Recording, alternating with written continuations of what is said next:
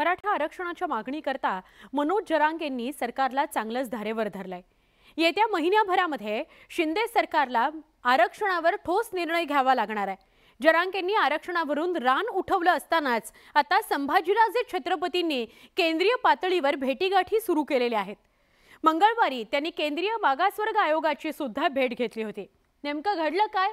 पाहणार आहोत special report. Manoj जरांगेंच्या आंदोलनामुळे मराठा आरक्षणाचा मुद्दा ऐरणीवर आलाय.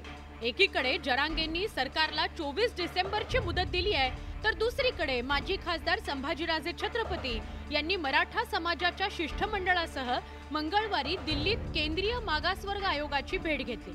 त्यामुळे मराठा आरक्षणाचा लढा आता केंद्रीय पातळीवर पोहोचलेला आहे.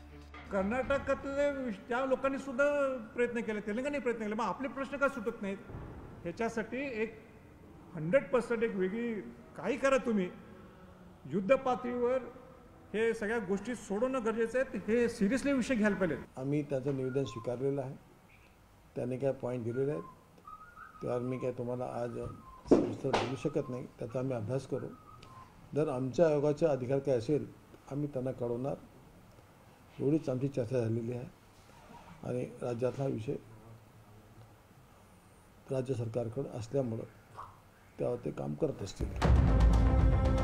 राज्य सरकारनं मराठा समाजाला दिलेलं आरक्षण सुप्रीम कोर्टामध्ये टिकलं नव्हतं. मराठा समाज सामाजिक दृष्ट्या मागास असल्याचा राज्य सरकारचा दावा सर्वोच्च न्यायालयानं अमान्य केला होता. त्यामुळेच मराठा आरक्षण सुप्रीम कोर्टात टिकलं नाही. या सगळ्या पार्श्वभूमीवर संभाजीराजेंनी केंद्रीय मागासवर्ग आयोगाची भेट घेतली. मात्र या भेटीविषयी मराठा आंदोलनकर्ते मनोज जरांगेंनी कानावर हात ठेवले. नाही त्याबद्दल नाही माहिती मला. आता तुमच्याकडूनच कळाली. मी घेतो माहिती. काय हालचाली आहेत काय आहेत काय नाही. इकडं मराठा समाज मराठा समाजाला आणखीन याबद्दल काहीच माहिती नाही आणि मलाही नाही. मराठा आरक्षणाला चालना देण्याकरता संभाजीराजे छत्रपती यांनी केंद्रीय पातळीवर हालचाली सुरू केलेल्या आहेत. या पार्श्वभूमीवर संसदेच्या हिवाळी अधिवेशनात महाराष्ट्रातील खासदारांची नवी दिल्लीमध्ये बैठक बोलवण्याकरता संभाजीराजे छत्रपतींनी पुढाकार घेतलाय. खर तर मनोज जरांगेंनी मराठा आरक्षणावरून शिंदे सरकारची चांगलीच कोंडी केली आहे. या पार्श्वभूमीवर आता संभाजीराजे छत्रपती यांनी केंद्रीय पातळीवर आरक्षणाकरता मोर्चे बांधणी सुरू केली आहे.